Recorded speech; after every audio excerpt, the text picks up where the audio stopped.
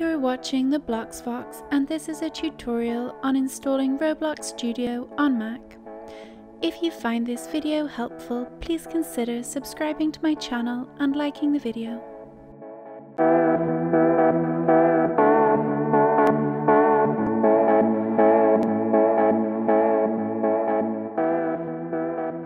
Start by opening up a web browser such as Safari or Chrome and then go to roblox.com. Log in to your Roblox account if you're not signed in already. When you're signed in, click on the Create tab. When the Create page has loaded, click Start Creating.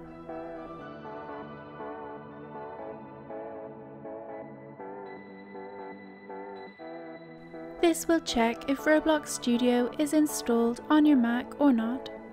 If it's not, you'll get a prompt to download Roblox Studio. The installer for Roblox Studio will now save to your Downloads folder. On Safari, click the Downloads icon at the top right, and then double-click Roblox Studio. You can also get to it by clicking the Downloads folder in the bottom dock.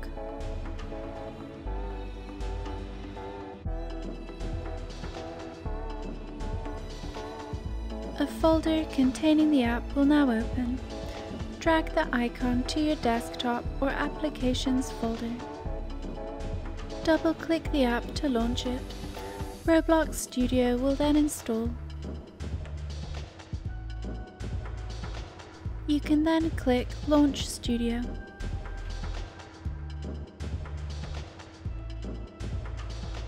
This will get you to log in to your Roblox account but you can avoid that by closing the Studio app, then going back to your Roblox tab and clicking Start Creating again. This will open the studio with your account already logged in.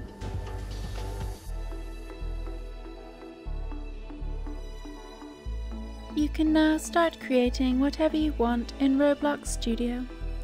And that draws an end to this tutorial. If you want me to make some tutorials on using Roblox Studio, then let me know in the comments. Please like the video if you found it helpful, and subscribe to my channel for more Roblox content coming soon.